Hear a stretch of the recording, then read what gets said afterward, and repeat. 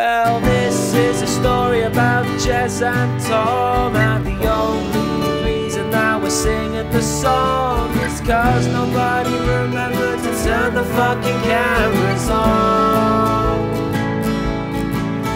Oh, without context it's easy to say The mud wrestling looks really gay.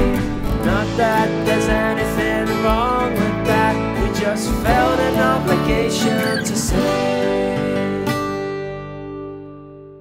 ass? Uh, your ass is great.